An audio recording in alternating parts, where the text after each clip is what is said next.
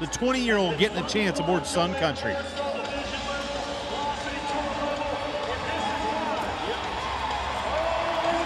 Wow. Colby, it Wow. could be one of those nights. We've started off now two for two. How impressed are you by the young man? Well, you gotta love the feeling that he has right now, just to be able to come to the elite level and step it up to the plate and do exactly what you've been doing. I mean, he's been knocking down some big time bulls.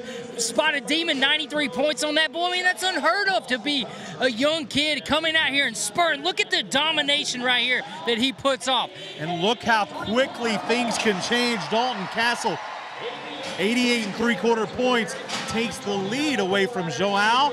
For a guy that was in the top 10 earlier this season, trying to make his mark back. Sin City into his hand, looks good so far. Mitchell trying to get one in round one.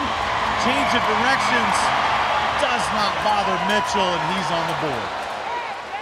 Now this is just solid fight right here from Ezekiel Mitchell. And you can see this bull kind of gets him back off of his rope throughout this ride, but he just never does quit, give up the opportunity to fight and get back down to the middle. you almost at times think that that's been the ingredient he's missing is that fire, that actual fight to get through there. And maybe a bull like this could start those wheels into motion. Mitchell with 85 points gets him on the board now.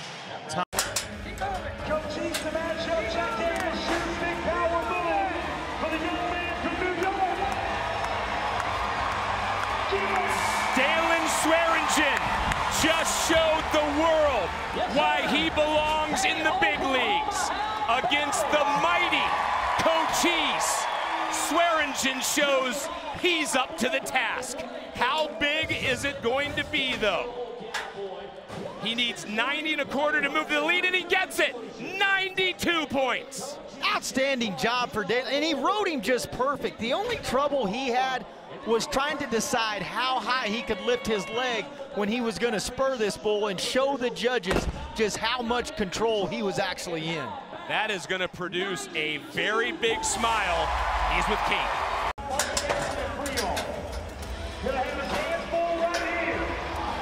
He ran! He ran! He ran! He Moslin!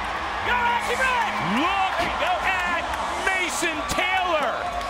Injury and all, he shows Canadian missed. Who's boss? Wow! Yeah, and Bruiser going for an unprecedented four world titles.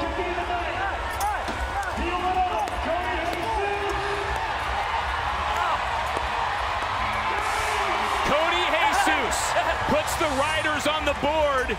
And Mac, a few weeks ago in Cheyenne on CBS Sports Network, you and I talked about before Cody Jesus' groin injury, he was absolutely the most consistent top rider on tour. Yeah, and this is a guy that we've just seen get better and better with time. 90 and a quarter.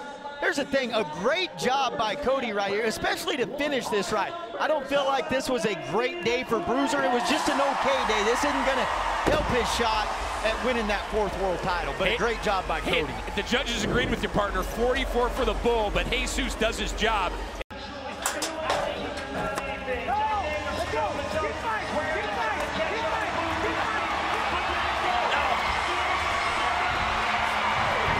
Wow, come back.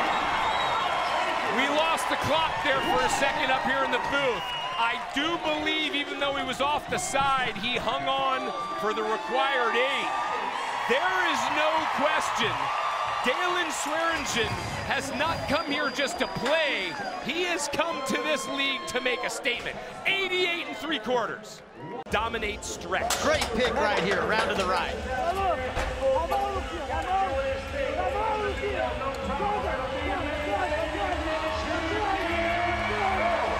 Divino may not have dominated like some previous rides this weekend, but it's more than enough. We are going to have a new number one here in Tulsa. He only needs 75 and change. He's going to get that and then some. 86 and three quarters. Yeah, and Stretch has a really good day here. The thing you're going to see, and, and you mentioned it, Lucas gets out of shape right here. Now he's off to the side, so Now the rider score is going to go down. The bull score is going to stay good, but the rider score is going to go down. That's what keeps that from being in the 89 to 90 point range.